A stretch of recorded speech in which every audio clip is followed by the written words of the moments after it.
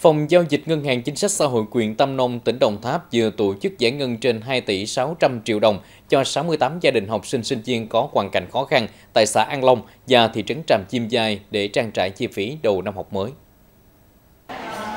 Mỗi gia đình học sinh sinh viên được phát dây tối đa là 40 triệu đồng một năm học, lãi suất cho dây là 6,6% một năm. Nguồn vốn được phát dây kịp thời nhằm tạo điều kiện thuận lợi cho các học sinh sinh viên có tiền trang trải chi phí học tập vào đầu năm học mới. Ngoài ra, Ngân hàng Chính sách Xã hội huyện còn phát dây cho các hộ thực hiện hệ thống cấp nước sạch và làm công trình vệ sinh, các hộ mới thoát nghèo, dây ưu đãi để tăng gia sản xuất, kinh doanh, mua bán, phát triển kinh tế gia đình.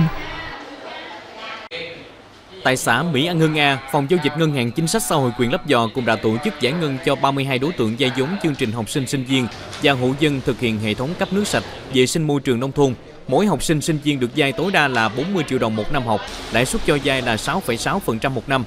Đối với các hộ vay vốn thực hiện hệ thống cấp nước sạch, mỗi hộ vay là 50 triệu đồng, với lãi suất là 9% một năm, thời gian vay 60 tháng. Hộ vay sẽ trả lãi hàng tháng, 6 tháng trả gốc một lần, Tổng nguồn vốn giải ngân trong đợt này là gần 1 tỷ đồng.